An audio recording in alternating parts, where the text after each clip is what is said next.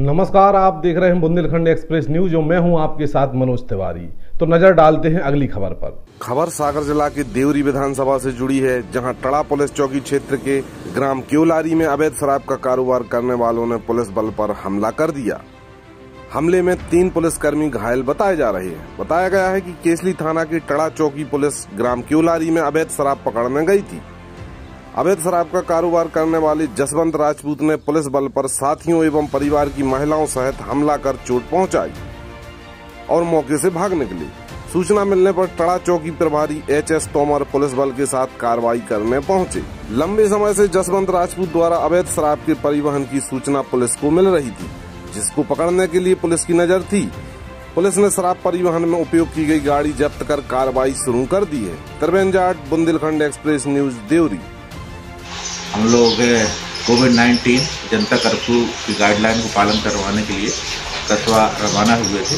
कस्बा से भ्रमण करते हुए हम लोग केवलारी केवलारी गाँव पहुँचे वहाँ पर सूचना मिली कि जसवंत राजपूत अवैध शराब का परिवहन करके घर पहुँचने वाला है।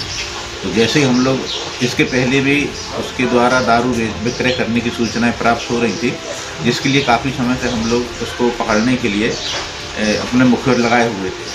तो उस दिनांक को जैसी सूचना मिली, हम लोग घटनास्थल वहाँ पहुँचे ग्राम केलारी और गाड़ी को अपने को ओट में खड़ा करके और हम लोग कुछ लड़कों को सिविल, दो लड़के हमारे सिविल में थे, हम दो लोग ड्रेस में थे।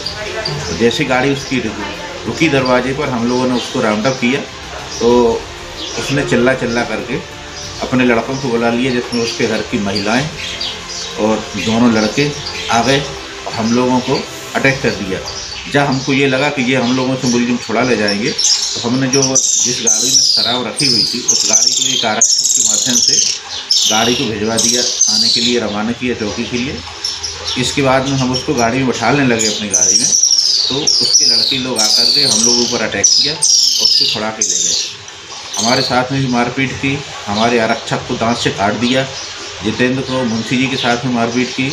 मेरे दोनों पैरों के घुटने में चोट आई है मेरे से चलते नहीं बन रहा